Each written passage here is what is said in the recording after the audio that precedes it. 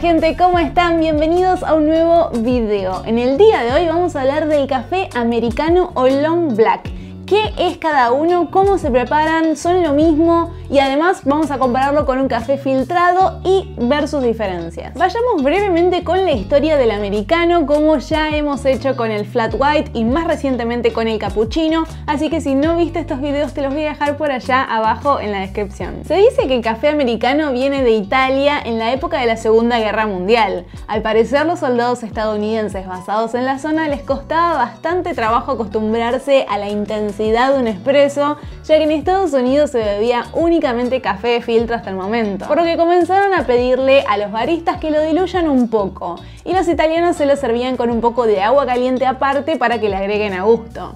Desde entonces los italianos le empezaron a decir café americano y luego se adaptó en todas partes del mundo. ¿Qué tan cierta es esta historia? No lo sabemos, pero se ha mantenido en el tiempo. ¿Un café americano entonces es un espresso diluido en agua caliente? Sí, correcto. Las proporciones de esta bebida no son muy claras. Hoy en día se ve en diferentes volúmenes, generalmente bastante grandes y según la historia se prepara extrayendo primero el espresso y luego agregándole agua caliente. ¿Y cuál es la diferencia entonces con un long black? Bueno, en esencia son prácticamente lo mismo, pero el long black es una receta que surgió en Australia. Ellos acostumbran a utilizar una taza de cappuccino que van entre los 150 a 180 mililitros aproximadamente. A este se le agrega 100 a 120 mililitros de agua caliente y por arriba se le coloca un doble o doble expreso. Nosotros le colocamos un doble expreso que la cantidad exacta va a depender de la receta que estés usando. Preparándolo en este orden, primero el agua y luego el café por arriba,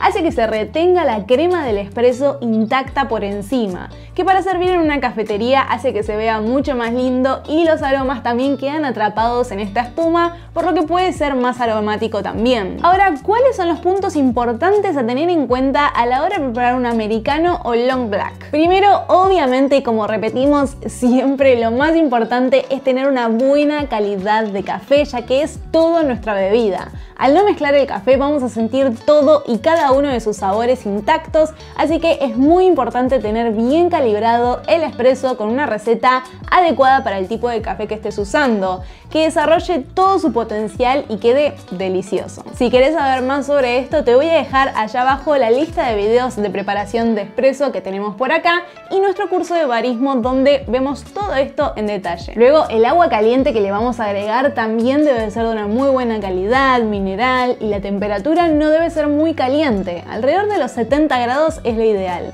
Además, si puedes calentar el agua en una pava aparte, va a ser mucho más rico que usar el agua directamente de la máquina de espresso, sobre todo si estás haciéndolo en tu casa, donde la caldera de tu máquina no tiene tanto movimiento y recambio comparado con la de una cafetería. Bueno, ¿y qué diferencia tiene entonces con un café negro normal? La forma de preparación. Ahí vamos a estar comparando una máquina de espresso contra un método filtrado.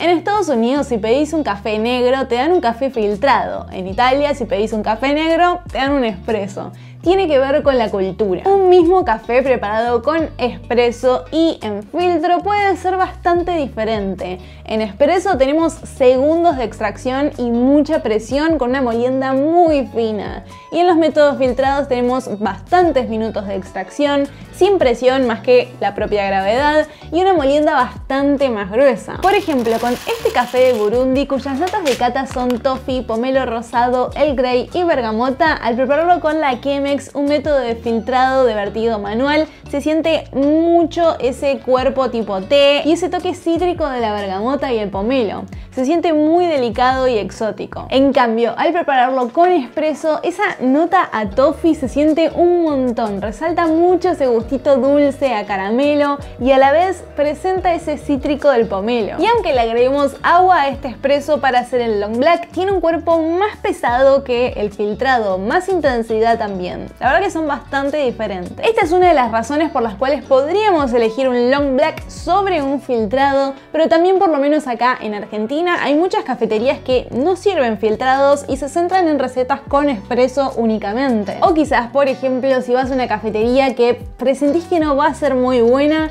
quizás te conviene pedir un filtrado ya que estos son un poco más fáciles de ejecutar que un buen espresso, que calibrarlo. Es algo que lleva mucha práctica y experiencia, es algo un poco más difícil. ¿Y ustedes qué prefieren? ¿Un americano, long black o café filtrado? ¿Qué se suelen pedir en las cafeterías o qué se preparan en sus casas? Cuéntenme allá abajo que voy a estar leyéndolos. Gente, eso ha sido todo por hoy. Si les gustó este video, agradecemos un montón que le den un like, que dejen un comentario y suscríbanse si todavía no lo están. Realmente nos ayuda un montón a seguir haciendo este tipo de contenido. Estamos a punto de alcanzar los 200.000 suscriptores, que es una locura total, así que aprovecho para agradecerles infinitamente a cada uno de los que forma parte de ese número. Y si todavía no estás suscrito, dale ya mismo al botón rojo de allá abajo. No te olvides de activar las notificaciones así YouTube te avisa cada vez que subimos un nuevo video. Ahora sí, gente, me despido. Nos estamos viendo la próxima, por supuesto, con más café. Adiós.